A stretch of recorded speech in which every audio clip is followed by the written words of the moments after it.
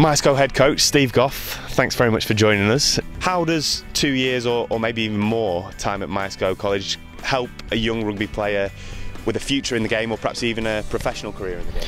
Well, certainly with um, with the college and the program, the two-year program. Um, the ACE program itself is is based on elite performance levels, and the RFU brought this program in quite uh, a few years ago, which is based on really just uh, enhancing elite performance alongside education.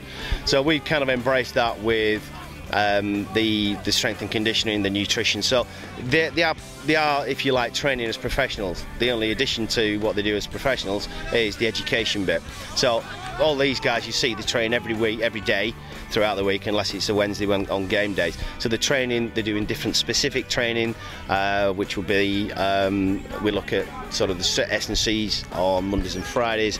Then we build into that the skill sessions on Tuesdays, team runs, Thursdays recovery, um, but also we have classroom sessions, which are analysis sessions as well as nutrition, making sure they're eating the right things uh, and various other things like that. So, so from that point of view, they're the best prepared that we can have.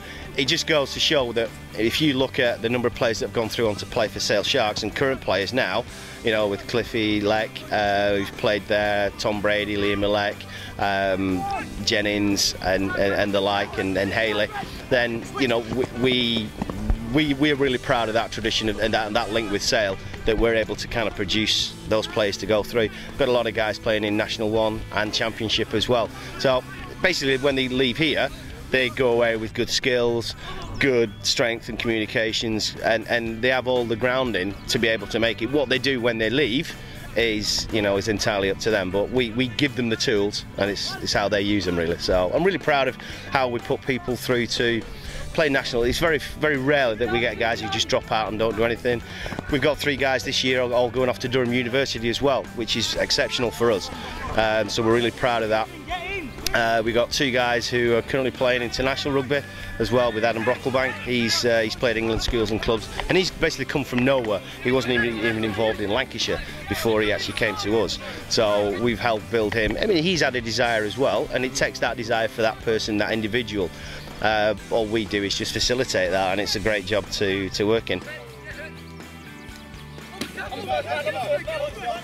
Adam, thanks very much for joining us. Myerscough captain cheers. You obviously you're going to Durham, you played for England, and you said yeah, hadn't played county before you got here to Myerscough.